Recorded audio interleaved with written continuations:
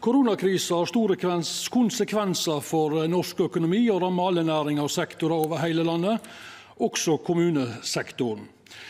I rapporten kan vi lesa at det har vore store forskjellar mellom kommunane i belastninga på smittevernarbeidet. Fleire små kommunar har sett behovet for ytterlegare kommunelegeressursar under pandemien og har løyst dette på ulikt vis, bl.a. gjennom interkommunalt samarbeid. Eg vil gje honnør til kommunene sin håndtering, selv om flere kommuner, som f.eks. både Oslo og Drammen, har hatt utfordringer med å nå ut til innbyggerne sine med god informasjon. Tidlig og god informasjon er sentralt for myndighetene og har vært grunnleggende for at kommunene har kunnet vareta ansvaret for smittevern og bevare innbyggerne sin tillit. Men det står òg noko på kommunane si handtering og formidling av dette. Statsforvaltarane har også ei viktig rolle i å informere og gi god råd til kommunane.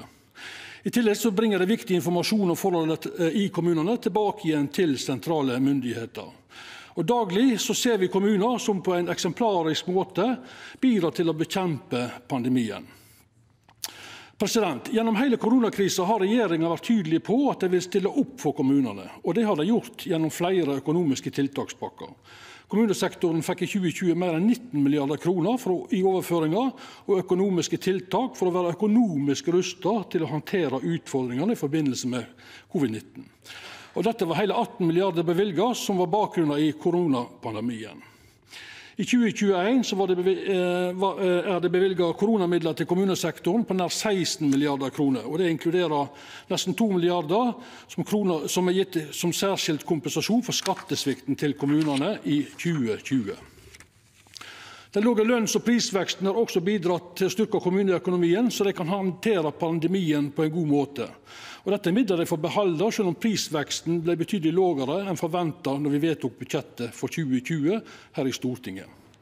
Regjeringa og Stortinget har dermed gjort det mogleg for kommunane å handtera pandemien på ein god måte, samstundes som dei har kunna oppretthalda den øvrige tenesteproduksjonen så godt som mogleg, og selvsagt hensyn til at pandemien også rammer tilsette i kommunal sektor. Det er selvsagt vanskelig å anslå nøyaktig hvor store konsekvenser virusutbruddet har hatt for kommunene. Regjeringa har etablert ei arbeidsgruppe som sammen med Kommunenes Sentralforbund skal kartlegge de økonomiske konsekvenser for koronakrisa for kommunane.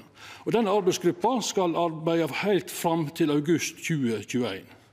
Det er verdt å nemna at staten og Kommunesektorens Sentralforbund er enige om at kompensasjonen fra staten for 2020 er i godt samsvar med kommunesektorens meirutgifter og mindreinntekter som følgje av koronakrisa.